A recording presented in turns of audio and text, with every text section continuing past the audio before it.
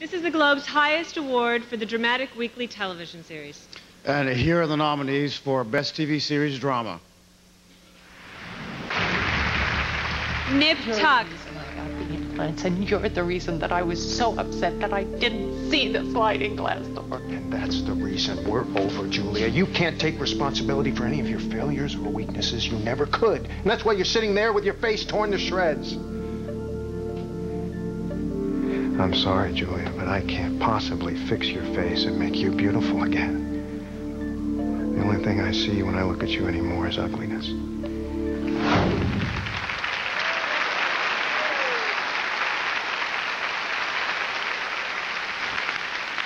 And the Golden Globe goes to Nip Tuck.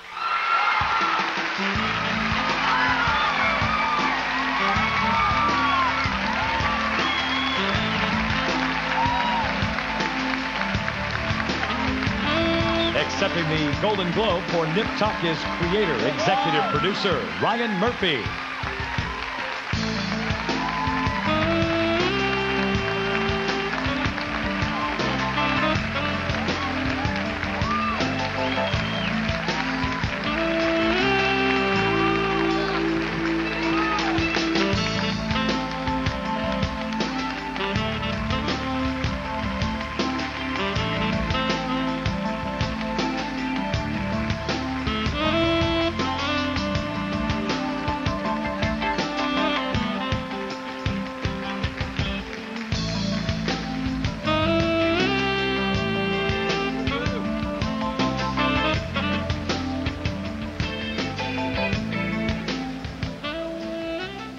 Uh, thank you to the Hollywood Foreign Press. Um, it would be very easy, based on our title, to think that our show was about Botox abuse and bad boob jobs, which, let's face it, it is. But uh, we try and be more than that. What we're trying to do is make a show about the deeply felt American phenomenon of personal transformation. And on behalf of executive producers Greer Shephard and Michael Robin, uh, I want to thank some people who've transformed our lives over the years. And chief among them is Mr. Peter Liguori of FX Networks.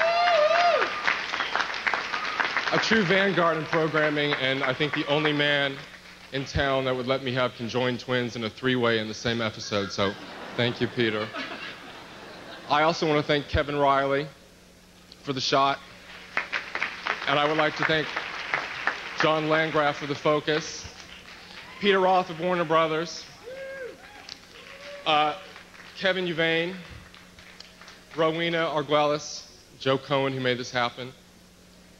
Uh, but mostly, I want to thank our writers, who we couldn't get here tonight. They're somewhere eating Chex Mix and drinking warm Kool Aid.